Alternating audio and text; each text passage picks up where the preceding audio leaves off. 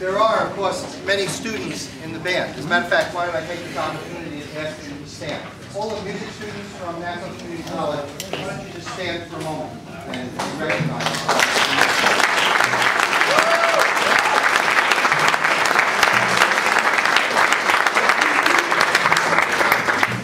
In addition to these wonderfully talented young people studying their instruments, there are, of course, many community members in the band. And I am highlighting some of them with us here tonight.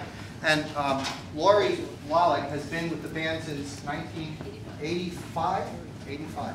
I actually started playing with this band in 1981 and 10 years later was invited to conduct them, and I've been here ever since. They call me the fixture here. uh, Laurie has, uh, has been doing a great job playing the clarinet, and she asked me if it would be possible to do the following number.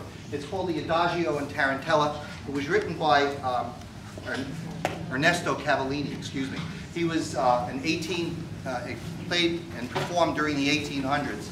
He was the clarinetist at La Scala Opera, and was called the Paganini of the clarinet because of his stunning and just marvelous technique on the instrument. This is a beautiful piece, and uh, Laurie is going to join the Nassau Band tonight as we perform this for you. So we hope you enjoy the uh, Adagio in Tarantella by Ernesto Cavallini.